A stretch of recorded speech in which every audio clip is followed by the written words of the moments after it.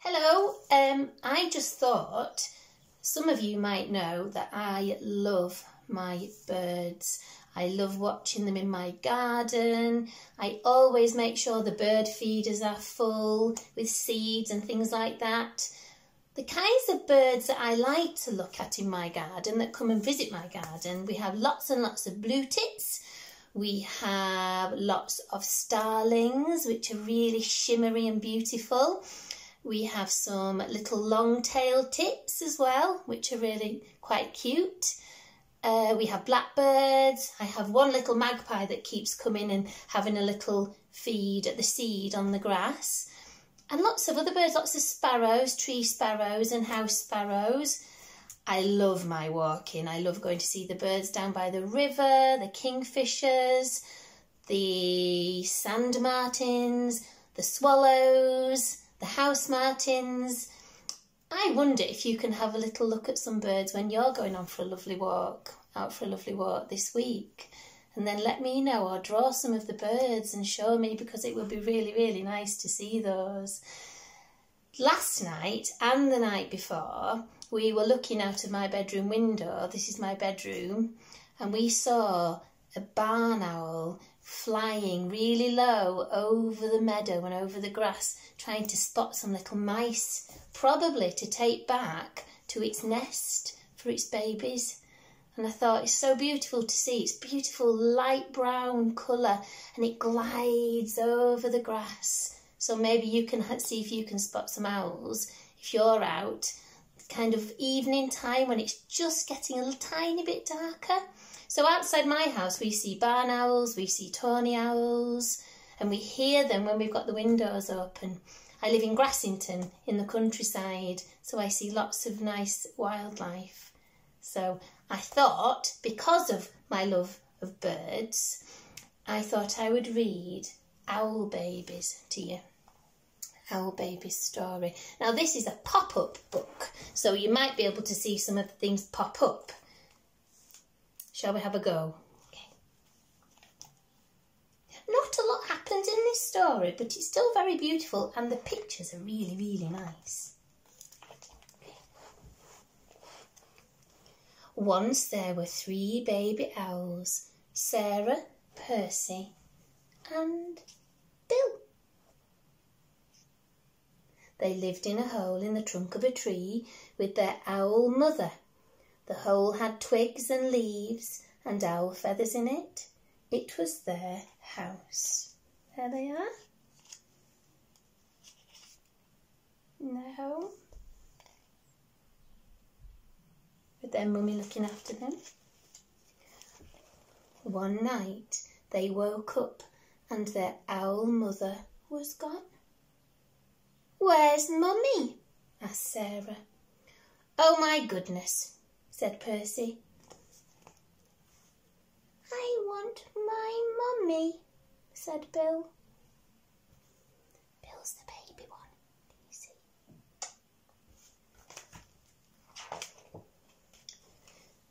The baby owls thought. All owls think a lot. I think she's gone hunting, said Sarah. To get us some food, said Percy. I want my mummy, said Bill.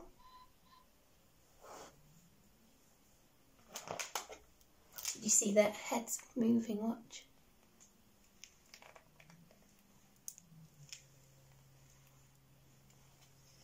But their owl mother didn't come. The baby owls came out of their house and they sat on the tree and waited. I think they might be a little bit worried and very hungry probably. A big branch for Sarah, a small branch for Percy, and an old bit of a ivy for Bill. She'll be back, said Sarah. Back soon, said Percy.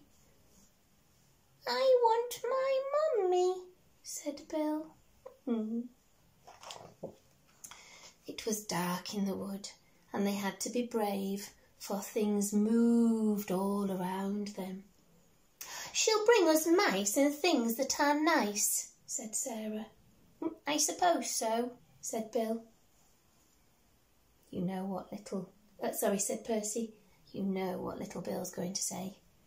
I want my mummy, said Bill. They sat and they thought. All owls think a lot. I think we should all sit on my branch, said Sarah. And they did, all three together. Suppose she got lost, said Sarah. Or a fox got her, said Percy. You know what Bill says. I want my mummy, said Bill. And the baby owls closed their owl eyes and wished their owl mother would come. Does she come back? Do you remember this story? Wait a minute. Look at this, watch. Toot toot. Toot toot.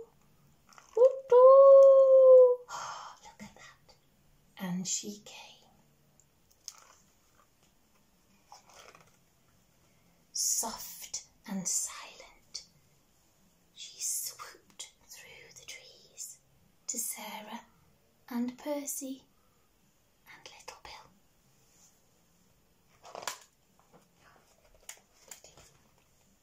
Mummy! they cried. And they flapped their and they danced and they bounced up and down on their branch. What is the fuss? Their mother owl asked. You knew I'd come back. The baby owls thought. All owls think a lot. I knew it, said Sarah. And I knew it, said Percy. I love my mummy, said Bill.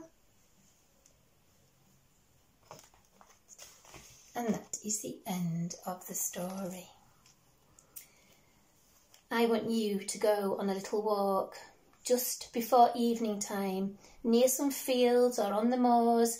See if you can spot any wildlife. Can you spot any owls? Can you spot any starlings or any nesting birds on the moor side?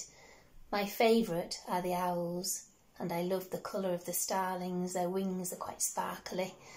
And I love the swallows, but the first sight of a swallow coming to Grassington and nesting around my house is really, really exciting. They have a red chest and they have a long, long tail, a black tail. They're very, very beautiful.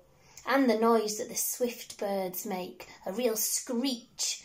So maybe mummies and daddies can help you see if you can identify and spot any different birds around your homes. Okay? I'll speak to you soon. Bye. Bye bye. Bye, says Bill.